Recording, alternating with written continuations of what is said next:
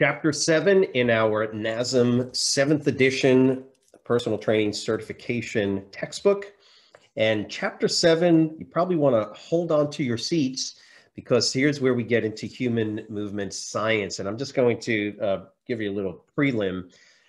Um, once we start into talking about human movement, uh, kinesiology, biomechanics, things like that, what we're really doing, or what NASM is really doing, is kind of prepping you to get an appreciation and understanding of how their OPT model is uh, or where it's coming from and why they why they put it together the way they did. Well, this is all preliminary information to help you understand why it's going to look the way it looks.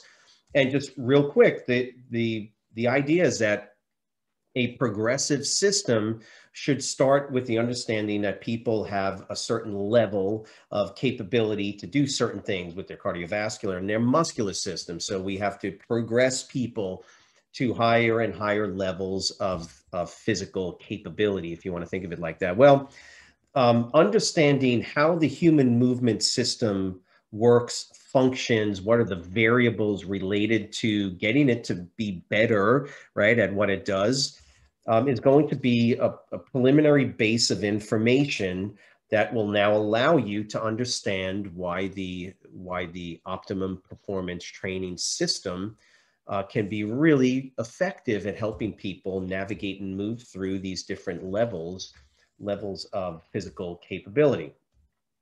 So chapter seven starts with the human movement system. And again, right off the bat, keep in mind, um, you're going to need a you know good amount of paper to memorize to memorize and write down some of the terms because once again when we're when we're in this venue of fitness and wellness um, there's an underlying vocabulary that you have to have to be able to to be able to move through these uh, more uh, more complicated more complicated concepts and ultimately into a progressive system of training.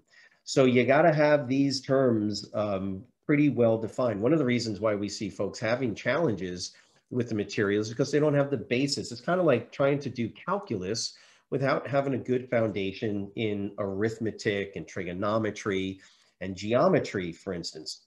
so you have to have some basic information pretty well down. And that's what they're doing is they're giving you this opportunity to spend some time particularly in chapter seven, to, to look at, understand, and deal with the, the terms and the concepts in, the, in what's called the HMS or the Human Movement System. So remember, slow it down, take your time writing, right? Writing down the terms, trying to memorize. And, and what I want to do here is help you with the concepts more than anything. So I'll be kind of jumping through past things that I know have given and continue to give people, students, a little bit of a challenge um, because again, it's it's um, conceptually there's a three dimensionality, of course, to the human movement system that can be a little bit a little bit challenging uh, to uh, to understand. So that's what I want to go through you. And chapter seven, which starts on page uh, 189, just gives you a basic introduction to human movement science. And we've said it before that the that the human movement system has the three components, which is the musculoskeletal and the nervous system, right? We went over those in the previous chapters. that all collectively forms what is known as the HMS or the human movement system. It's a concept, it's conceptual, right? So the human movement system is these three actual physical physical components systems of the body that when they all come together are allow for uh, human movement. And there are problems that can occur that arise from dysfunctions. And that's what we're going to get to at the end of the chapter. So first thing we have to understand is some basic uh, biomechanics and terminology and what's known as um, the anatomic location. So on, um, on page 190, uh, 191, you have table seven, I would look, I would just go ahead and I'll give you, I'll give you a little bit of assistance here with some of these locations. So medial, middle, medial, right? Um, relatively close to the midline of the body right? An example are the adductors, the inner thigh. Those are medial, right? Because they're closer to what's called the midline of the body. Medial also uh, can refer to a type of movement like an internal rotation or medial rotation. So medial and its opposite is lateral. So on the outside or a movement, rotational movement outward. So, and again, the term relatively. So when you see medial this or lateral this, they are, they are the opposite, right? Medial relatively close to the midline, lateral relatively further away. Uh, contralateral, positioned on the opposite side. So we talk about uh, exercises, and you may have even done these or seen these contralateral supermen, we call them, right? Where you're on your hands and knees and you lift your left arm out and your right leg up and back, right? We call those contralateral supermen, really cool term. Uh, but that's what contralateral means, contra lateral, right? So on opposite sides of the body. Ipsilateral, again, uh, positioned on the same side. So you can, you can look at the examples here on table 7-1, anterior, front, posterior on the back.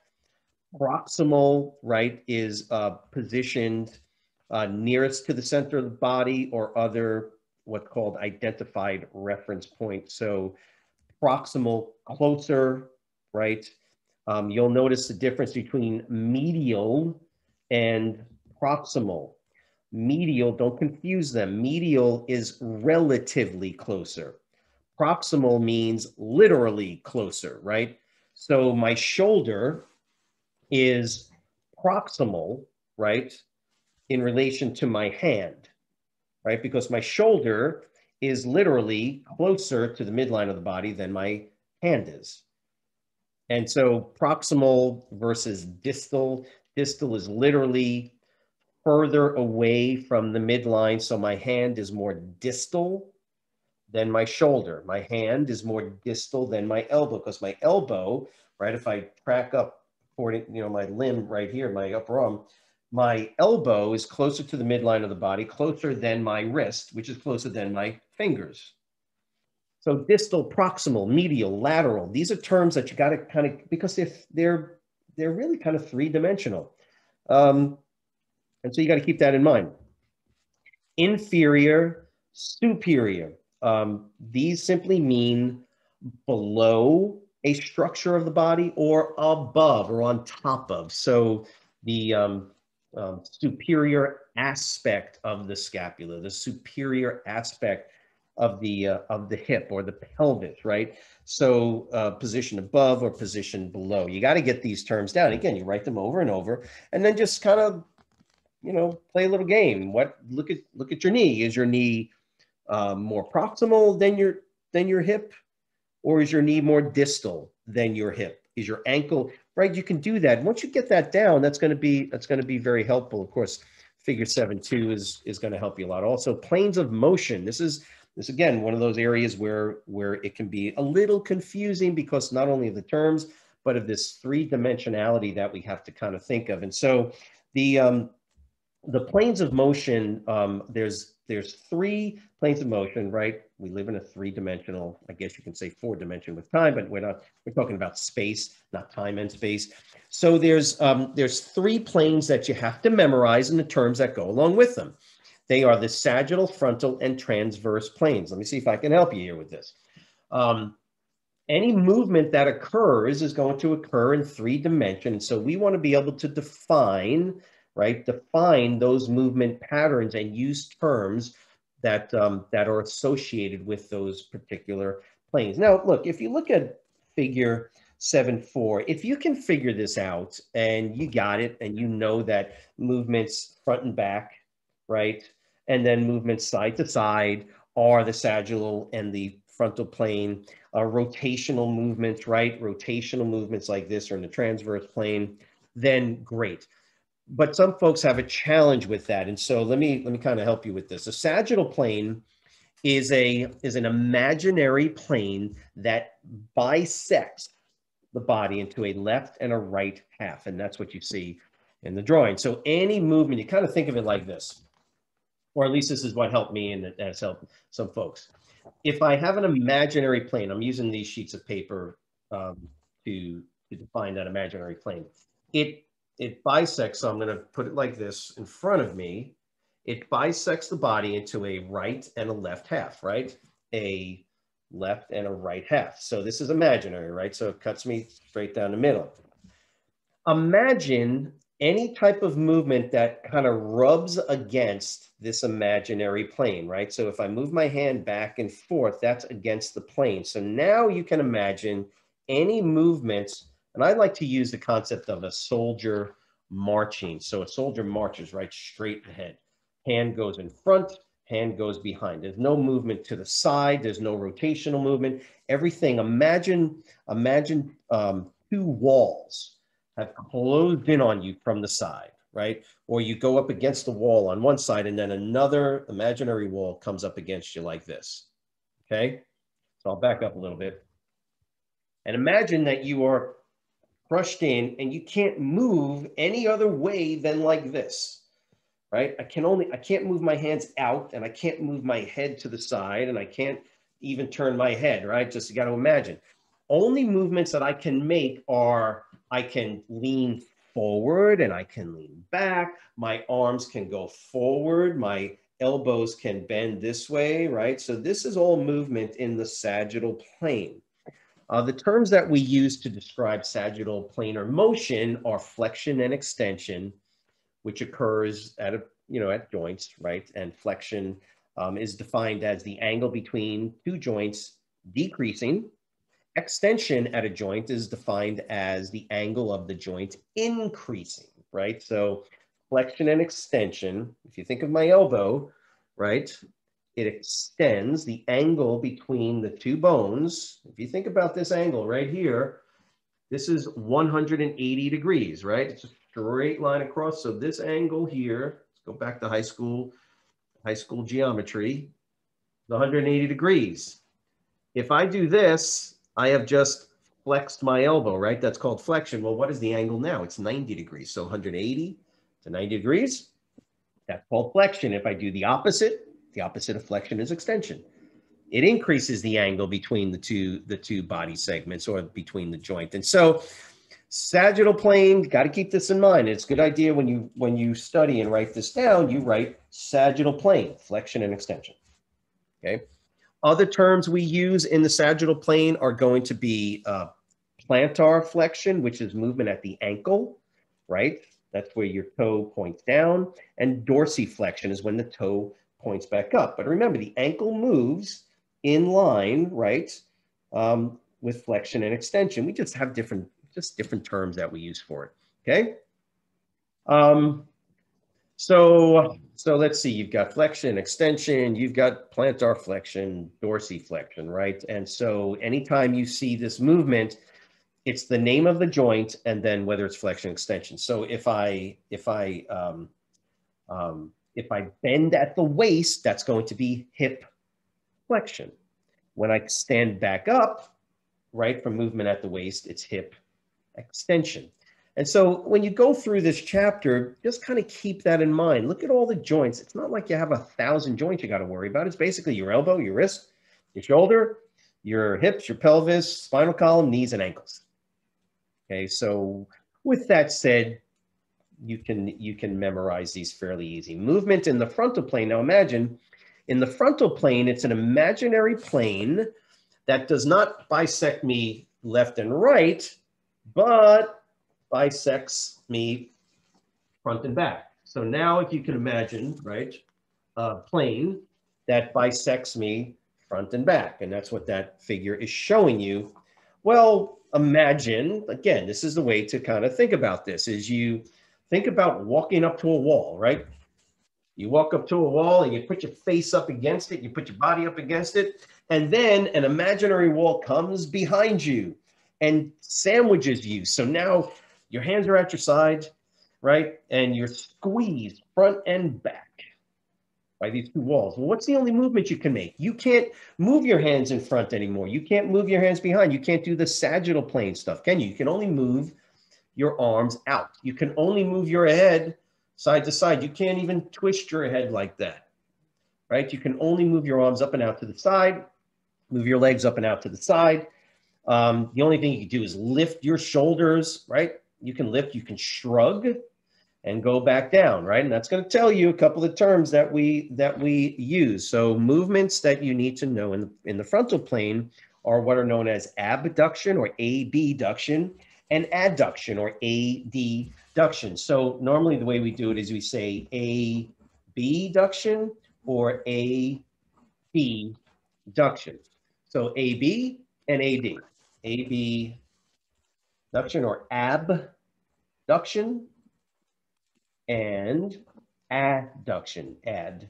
And so that's a way to remember adduction is because um, abduction and adduction at the shoulder, for instance, okay, abduction is movement away from the midline of the body. So if I lift my arms out to the sides, like you do in a lateral raise, you grab 25 on the, and you do a lateral raise. Well, that movement up and out is called abduction or abduction. Okay. Now, a way to remember adduction is simply add, add the arm or the hand back down to your side. Again, that's just helpful, helpful ways to think about memorization. So adduction or adduction is adding the hand back down to the side. So those movements, abduction and adduction, are within the frontal plane. Um, at the shoulder girdle, we right the movement of the of the shoulder girdle, right the scapula. The scapula can move up and move down, and so we call that elevation and depression. Okay, so elevation, shrugging, right? You shrug, and then when you let it back down, that's called scapular depression. And so those are those are terms that occur in the in the frontal in the frontal plane.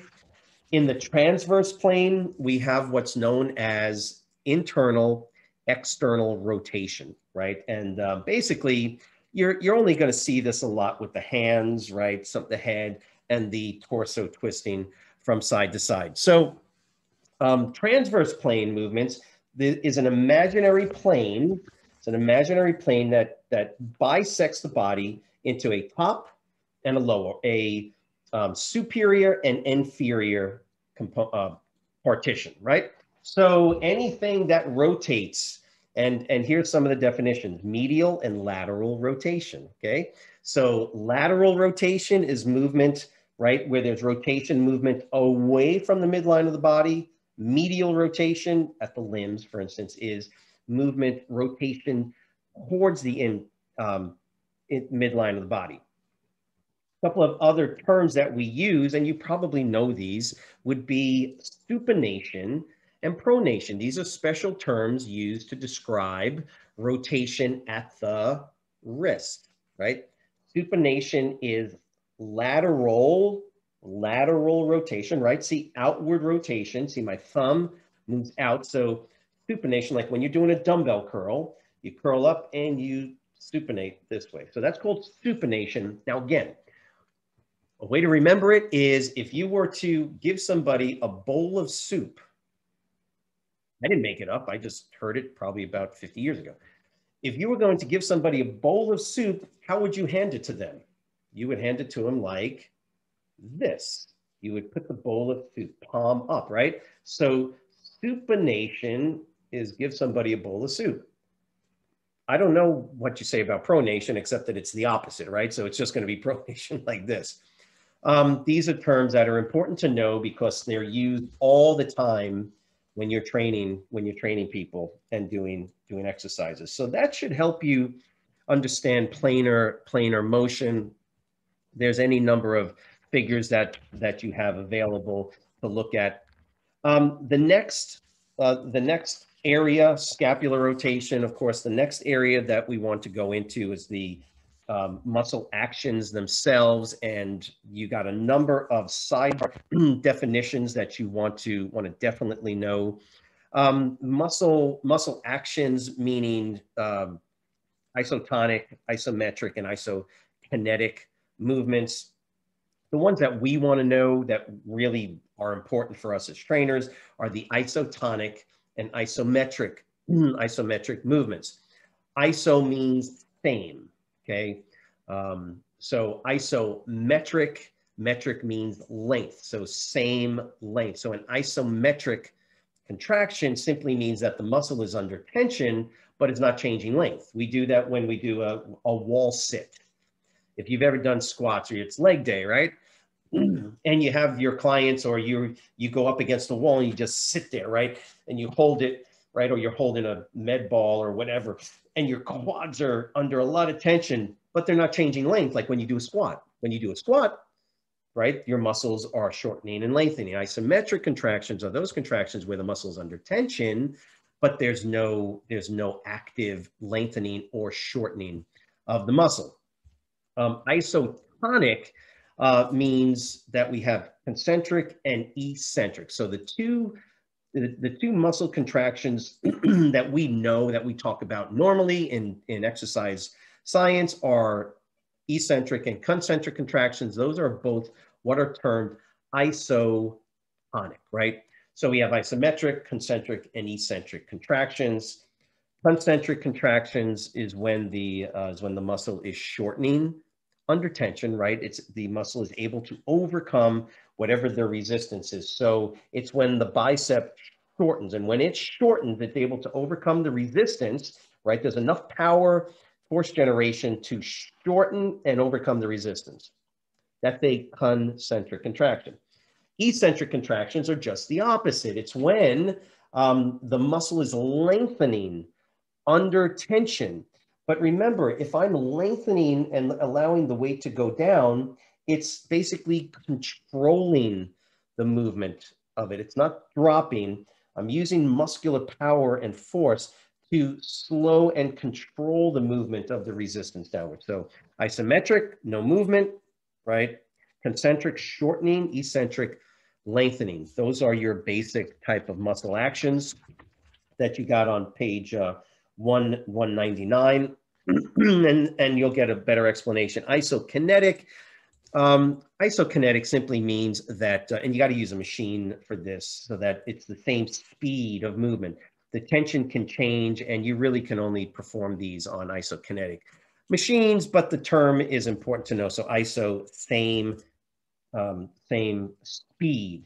So these machines will only move at a certain speed. So as much as you're pulling, right, um, it'll only move at a, at a specific rate.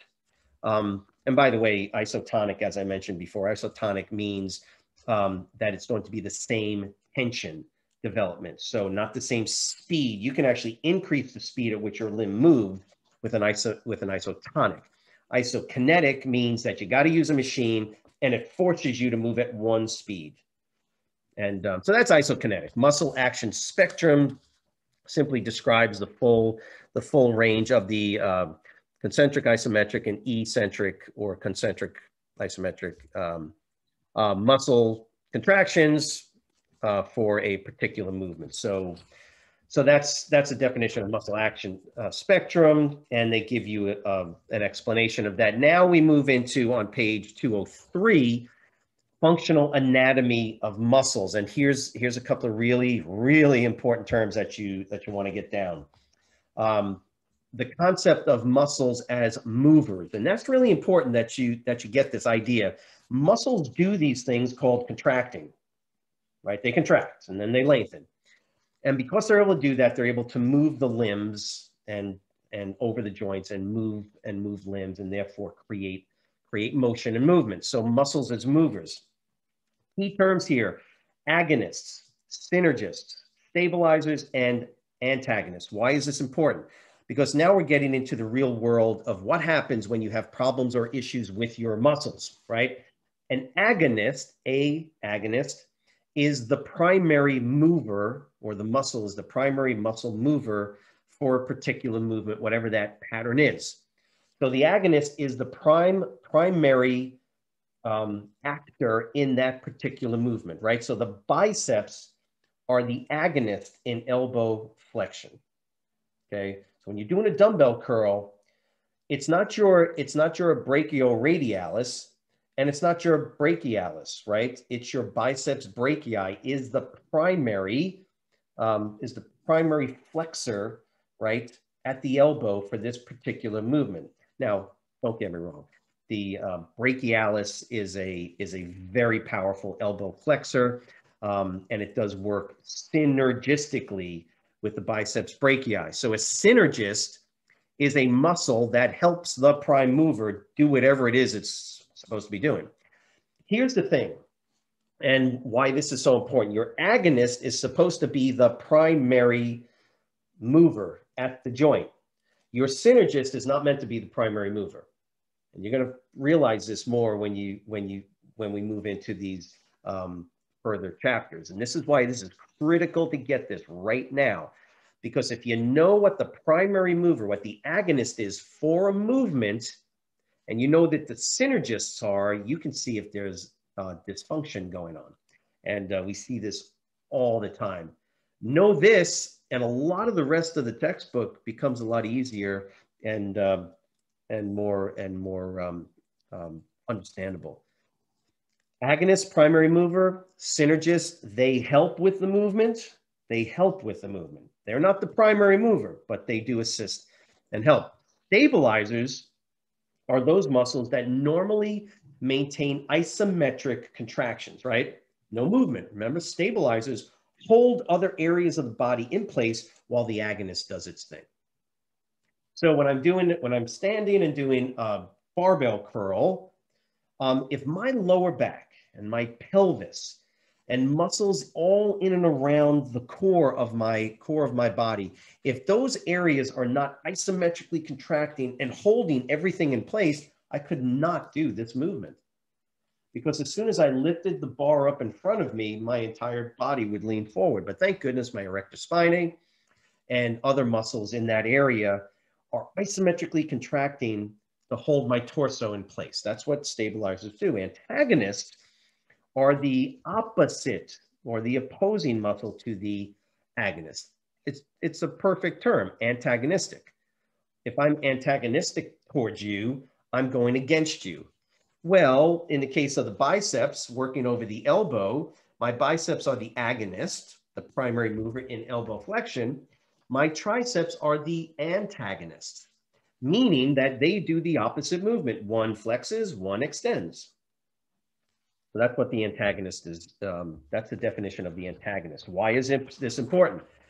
Um, because now, now you're going to have to uh, kind of understand why one muscle needs to relax while the other contracts. And if there's dysfunction or there's imbalances, there's um, issues related to um, how the muscles are not functioning properly with each other in sync, um, this is where this is where people have problems with um, with their musculoskeletal system. The HMS gets thrown out of whack, and we see problems and issues that, for the most part, um, you can help, but you got to be able to know them. And this is why knowing this is critical. So as we move on to page 204, open versus closed kinetic chain movements, this is fairly straightforward in that a kinetic chain is simply the collection of all the limbs and joints in a particular movement. Um, again, we'll use a use a simple example of doing a lateral raise, right? So a lateral raise, right? Shoulder abduction and adduction, right? So you sit there and you do up, right? So if I lift my arm up and out to the side, what are the joints and limbs that are involved directly with that movement? Well, it's not my legs and feet, is it? No, of course not. It's my shoulder joints, my scapulohumeral joint, right? The scapula, the humeral joints, the, the um, upper arm, the elbow, the forearm, the wrist, and the hands. So if you think about it, those are the parts of my body that are involved with movement. My head's not involved. Now, are the muscles in my neck? Yeah, of course. However, the, the movement itself, what we call the kinetic chain. So the kinetic movement, kinetics, right? Movement the movement chain, that, that collection of all the different parts of that movement pattern, right? So it's going to be my arm, my hand, even my fingers holding the dumbbells. So the kinetic chain is defined by all of those limbs. Well, if I move my hand, right, and my hand is moving in time and space in relation to my shoulder joint, which is not uh, moving other than the rotational and movement of my scapula, if my hand is moving, that is the distal component of the kinetic chain. The part closer to the midline of the body is the proximal component, right?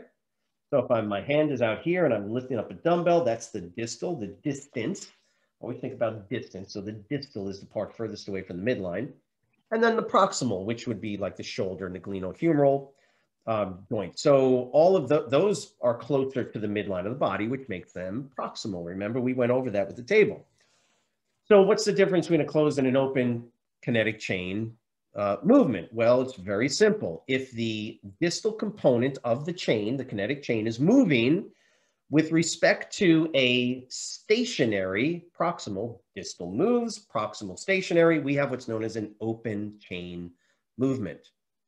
A closed chain movement is the exact opposite. It's when the distal is fixed, like I'm holding onto a bar, right? Well, let's let's do a pull-up, right? If I'm doing a pull-up, right? And I hold on to a bar, which is fixed, it doesn't move, and I pull myself up and down. Now you'll notice that the proximal part of that chain, right? Because I'm pulling myself up, the proximal is moving, but the distal is stationary. Go ahead and think about some exercises and whether they are open or closed kinetic chain. I'll give you a real, real simple way to think about this. If your feet or your hands are moving and your body is stationary, it's an open chain movement. If your hands or your feet, and you're doing some exercise, if your hands and your feet are not moving, but your torso is moving and your body is moving, probably closed chain. Squats are a closed chain exercise. Push-ups are a closed chain exercise. Why? Because my hands aren't moving, but my torso is. Open and closed uh, kinetic chain movements. That's, that's one of the best ways, I think, to kind of get the idea for this. So now we move into what's known as muscular force, and then a very important concept called length tension relationship. It's basically based on the uh, based on the reality that every muscle in your body has a ideal resting length where you have maximal overlap of the actin and myosin. See why it's important to know some of your anatomy? Maximum overlapping of the actin and myosin filaments ensures that there's maximum force production at that particular length. That's what that means. So the length tension relationship says that if a muscle is lengthened beyond that ideal length, or if it's shortened beyond that ideal length, you're going to lose power or force or tension development uh, capabilities. Again, look at look at figure 715 you know, I, I sort of, again, I was always confused by some of these charts. These are classic, these are classic uh, charts right here, figures. They've been around for a long time. I used to get confused by these until I started to kind of think about it in the real world. What you're seeing here is a, is a uh, two sarcomeres, right? Actin and myosin. And uh, basically what it's saying is that as the, um, as that, um, what really is the muscle, the length of the muscle, but this is at this cellular, the cellular level. Um, as it lengthens or shortens, the ability of the, the ability of the muscle to generate force either goes down or goes up. And so the uh, length tension relationship basically says that um, there's an ideal length that the muscle is under, right? An ideal length that when the muscle is at that particular length, it has maximum tension development. And that's what the length tension relationship is talking about. It's based on the overlap of actin and myosin filaments in the sarcomere. Um, you know, as you move, as you lengthen the sarcomere, the remember there's an overlap of actin and myosin filaments, and as you reduce the total number of of um, of actual uh, connections that can be made between the actin and the myosin, right? What we call cross bridges. As you reduce that, you reduce the ability of the muscle, of that muscle, that sarcomere to develop tension and the same thing goes with shortening. So, so that's, um, that's a basic, that's a basic concept, but how does that now lead us to, to more real world scenarios? And this is it. It's called the altered length tension relationship. So when it's altered, right, um, what we start to see are what we call muscle imbalances, right? So muscles on either side of a joint, like your biceps and your triceps, have under ideal ideal conditions, um, different their lengths are ideal, right? So if I let my arm hang at my side, the length of my bicep and the length of my tricep muscles are or should be in these ideal length tension relationships. Now, if for some reason one of those muscles becomes altered in its length tension relationship, that's going to cause a that's going to cause a sort of dysfunctional pattern at the joint. And so the idea with with altered with this altered length tension relationship concept is that if I sit for extended periods of time, if I keep my if my arm is in a cast, great example, for a long period of time, weeks and weeks, what ends up happening is the muscles, the muscles that work that are over surrounding those joints will either shorten and remain shortened or lengthen. And when they remain lengthened over extended periods of time or they remain shortened, um, their length tension relationship becomes altered, dysfunctional. The muscle is no longer able to uh, maintain or produce high levels of tension because it's been shortened over extended period of time or lengthened. If that happens to one muscle, it alters the other muscle at the bicep. If, if for whatever reason my bicep is shortened for an extended period of time, it's going to lengthen my tricep. My tricep doesn't want to stay lengthened like that, right? It wants to be in a normal length tension relationship. And this is where this is where we get this concept of muscle imbalances. I'm not saying that it happens at the elbow. Normally, when it does happen at the elbow, it's because of Mm, a cast. Okay, that's where we see it all the time. Now we see obvious muscle atrophy, but there's also this problem that occurs because now the tricep is lengthened, the bicep is shortened, and you got to go to physical therapy.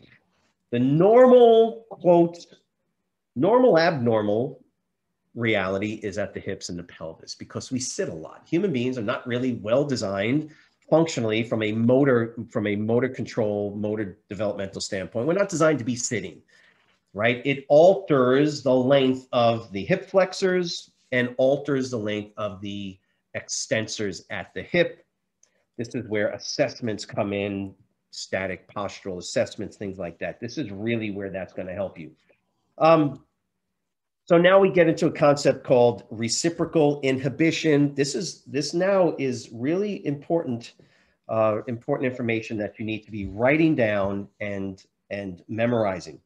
Reciprocal inhibition is uh, when an agonist receives a signal to contract, its functional antagonist receives a um, inhibitory signal. So a normal a normal muscular system functions in a way where when one muscle contracts, its antagonist relaxes. Think about that. If, I, if I'm doing a dumbbell curl, I can't have my tricep contracting because it has the exact opposite effect on the elbow, right? It tries to extend it. So in other words, my agonist is not going to fight my antagonist, right? So when the agonist, when you saying I'm going to do a dumbbell curl, without you even realizing it, your tricep actually relaxes. You don't have to think about it. Your body takes care of it. Don't worry about it. Your body takes care of it itself. That's called reciprocal inhibition. That means that when the agonist is contracting, the antagonist is relaxing. Now, flip that back around. When I do push downs, when I do push downs, tricep push downs on a machine, what's the agonist? Well, it's the tricep because it's the primary mover for that movement. What's the antagonist? It's the bicep. So when I do a push down, right? My biceps go, they go flaccid, they relax, right? To allow for extension of the elbow. But then I do a dumbbell curl and it flips back around. Um, altered reciprocal inhibition, think about that, this term altered. Altered reciprocal inhibition occurs um, when an overactive agonist muscle uh, decreases the neural drive to its functional antagonist. So altered reciprocal inhibition basically says that an agonist like the bicep, when it's overactive, when it's overactive, is sending signals to the antagonist. Now, the muscle is overactive not because you're doing a dumbbell curl. That's not why the bicep is overactive.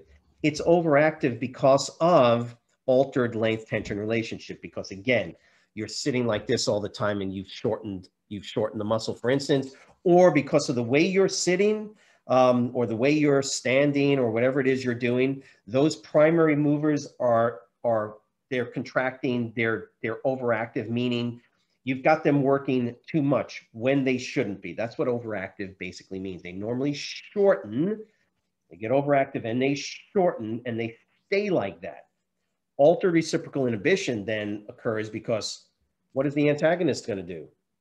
It's now going to receive inhib inhibitory neural neural activation that tells it you just need to relax. And but the tricep doesn't want to do that. The tricep wants to get back to its normal length. The tricep wants to get back to this length. But because of the overactive muscle keeping it like this, this guy now has to lengthen. And because of that, that lengthened muscle becomes weaker, becomes under underactive. And so there's more, more to come on that. And this causes muscle, this, this occurs because of muscle imbalances when muscles um, on each side of a uh, joint have altered length tension relationships. I, I, I hope that makes, I hope it makes sense. Stretch shortening cycle is another concept um, that you can you can read through. Again, there's some definitions here that that you definitely want to look at um, and memorize. So as we move on to force velocity curve, there's this um, there's a inverse relationship between the amount of force that a muscle can produce and the speed at which it can produce that force. So the faster, the faster the muscle um, shortens, the lower the force output and vice versa. and so it could be a little confusing, but just understand that there is an inverse relationship if I put a lot of weight and I'm generating a lot of force on my quads because I've got couple of hundred pounds of weight doing a squat, I can't do it very fast. It's actually going to be a slower movement, but it has greater, greater force output, power potential, and vice versa. Force couple relationships on page um, 211 um, basically talk about how muscles work in conjunction with each other to produce movement on either on on either different sides of the joint or in the case of the scapula, for instance, rotational movement of the scapula. So force couple relationships talk about how um, how muscles, different muscles on different sides or different areas of a bone, for instance, in this case, the scapula, uh, functionally contract to create movement. And if you look at figure uh, figure seven, 718, you can see that in the scapula, as you move the arm, as you abduct the arm, the scapula also rotates. Now, think about it for a second. In order for the scapula to rotate, you have muscles that are pulling it one way, and the opposing, opposing muscles are pulling the other way to create rotation. We call that a force coupling.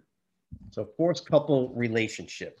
And um, that's important to understand because it occurs, it occurs quite a bit in the upper body and the scapula. The scapula is probably one of the main. Now, don't get me wrong, the scapula, the pelvis is the same way. There's lots of muscles working on either side, both anterior, posteriorly, right, laterally, medially, that allow for the pelvis to move and shift in different ways. This is caused by force coupling.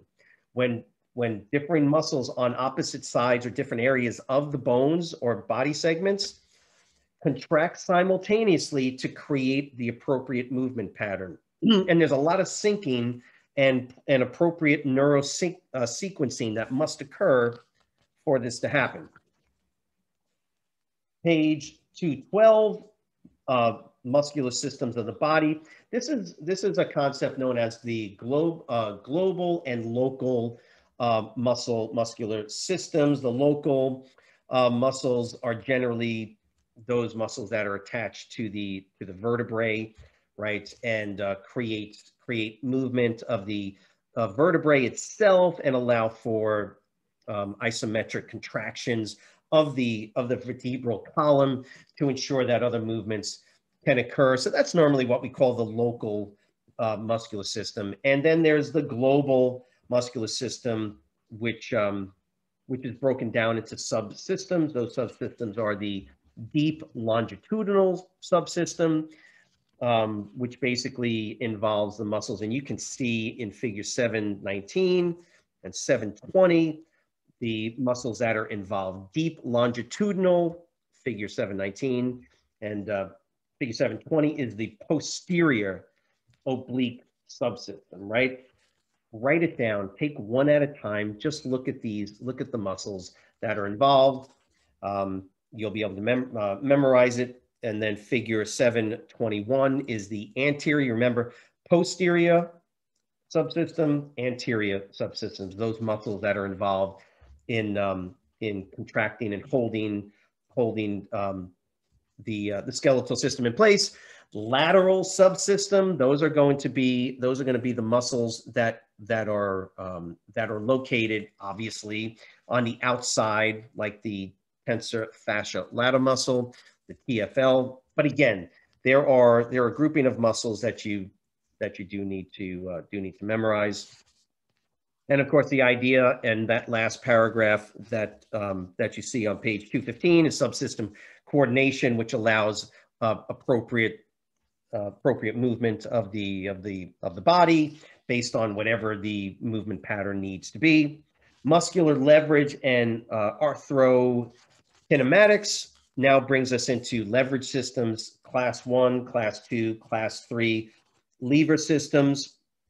Um, you probably learned this when you were when you were in um, high school when you when you did physics, right? Um, high school physics, you would have learned basic, you know, basic leverage systems, a class one lever, and you know the idea is that look look through this on page uh, 216 the idea is that the human body, because of joints, is a leverage-based system, and they give you they give you um, an explanation of each of the different leverage systems at the particular joints.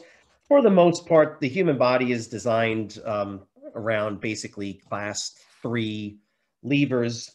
Uh, we see class two levers or second class levers at the ankle, and uh, class one levers, which you don't see too much of in the human body, but you do see them um, particularly at the, um, at the neck and head. So leverage systems, they're important to understand, but uh, just read through it. NASM does not give a whole lot of time to it, which tells you, which tells you something. Um, and then the concept of motor behavior, page 219. Here are your definitions, motor behavior, motor control versus motor learning you got to know the differences between those. Motor control is the um, is the ability to initiate movement and to control or to, as they say, uh, correct purposeful controlled movements versus motor learning, right? And you got the sidebar definition. Um, it's the use of the processes themselves through practice and experience. So motor learning is something that you help your clients do through the training process. athletes are constantly going through, hopefully, increased motor learning processes. They get better and better at the particular movements they have to do. So throwing a, throwing a javelin, moving a discus, that involves that involves motor learning and then of course motor development are the what would be considered sort of the cumulative changes that occur over time through through motor learning processes and um, and so now you have motor control, of course, and you'll get these definitions. Um, table 7.3 muscle synergies. Um, it's not a bad idea to look and understand what the um, what the synergies are. Now, this is kind of referring back a little bit to what we talked about with the agonist and the synergist and the stabilizers. So when you're doing a squat, what are the what are the agonists? What are the muscles involved with creating the the movement the movement of the uh, of the squat movement itself, be the quads and the the gluteus maximus. Well, what are the synergists? Well, the hamstrings, um, the entire hamstring complex, right? And then the stabilizers are going to be located in the midsection, the core, and the transverse abdominis. And of course, you're getting a couple of exercises. It's a good idea to read through that and kind of get an idea. Not, not a bad idea as well to kind of look at other movements that they do not have down here and kind of figure that out for yourself. So this seated row, the bench press, the shoulder press. Well, think of another exercise kind of uh, like like a um, like a lateral raise. Okay, what would be the muscle synergies in a lateral raise? And so that would be helpful for you to write that down as well. Proprioception is just the ability to know where limbs are, where your body is in time and space. Um, you have special nerves, nerve muscle complexes, right, located in the joints, inside muscles, in and around the tendons. These are called mechanoreceptors, right? The muscle spindle fibers, which tell the muscle to contract, and Golgi tendon organs, which tell the muscle to relax. Those are called mechanoreceptors. You also have uh, mechanoreceptors, which are proprioceptive um, apparati in the joints. So when the joint moves, you know, right? If you close your eyes, you know your elbow is flexing and extending. How do I know that? Well, well, I mean, I know it because two seconds ago I closed my. No, I know it because there's mechanoreceptors in my elbow joint that also, along with the other receptors in my biceps and triceps, um, are constantly sending sending feedback to my brain to let me know uh, that's where your elbow is, and it's flexing and extending. So that's what proprioception is. This this allows for the concept of motor learning, um, which is what's going to really define um, how your clients learn and and deal with the external environment of resistance training. Okay, motor learning is critical, and it's why again, if you remember what I said at the beginning of the chapter, we're looking looking ahead. NASM is prepping us, right? Prepping us for understanding why the OPT model was designed the way it was designed. Because you can't take somebody that's never trained with resistance resistance equipment and just have them doing power cleans and bench presses and squats. That would probably not be the best thing. You'd probably want to move them from um, an initial state of developing isometric contractions in certain muscles, yada, yada, yada. And that's what you're going to, that's what you're going to see later on through the textbook. Motor learning is the integration of motor control processes with practice and experience, right? So motor learning, and that takes, that takes time. And this is what we want to do when we, when we start training people. Initially, it provides feedback or it creates feedback internally, and then there's the external feedback. Um, a really important concept here, even though it's at the end, is neuromuscular efficiency. When you're dealing with uh, athletes in particular, the goal is to create neuromuscular efficiency so that they get better and better um, at the particular movement patterns that they're trying to trying to develop. Uh, basketball players, you you've got to shoot hoops. If you're going to shoot and try and get better and better at getting this ball into a hoop, You've got to do it over and over and over, but you've got to create an efficient pattern, right? An efficient pattern that can be, quote, locked into place neuromuscularly. That's what neuromuscular efficiency is. Um, instead of, you know, just as an example, instead of flailing your arms around and throwing the, but no, what, what's a more neuromuscularly efficient way to get the ball into the hoop? Well, it's keeping the elbows tucked in, getting the proper positioning of the hands, right?